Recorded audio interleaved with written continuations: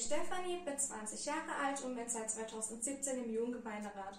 Für mich ist der Jugendgemeinderat so besonders, weil man einfach neue Leute kennenlernen kann, sich gemeinsam an politischen Themen beteiligen kann und natürlich auch einen Einblick dafür bekommt und man natürlich auch Ansprechpartner und Referent für die Jugendlichen ist. Mein Name ist Philipp Kimmig, ich bin 20 Jahre alt und seit 2017 im Jugendgemeinderat.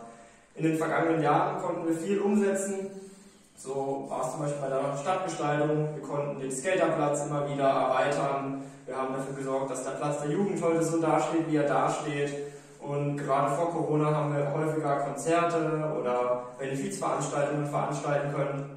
Also bei uns kann man wirklich alle seine Ideen wirklich umsetzen. Ich bin Julius Renner, ich bin 17 Jahre alt und seit 2019 Mitglied im Jugendgemeinderat. Wenn du auch, wie ich, die Interessen von den Jugendlichen in Oberkirch vertreten möchtest, dann kannst du auch Mitglied des Jugendgemeinderats werden, indem du dich bei der kommenden Jugendgemeinderatswahl aufstellst. Wahlberechtigt sind alle Jugendliche zwischen 14 und 18 Jahren, die in Oberkirch oder einem der Teilorte wohnen.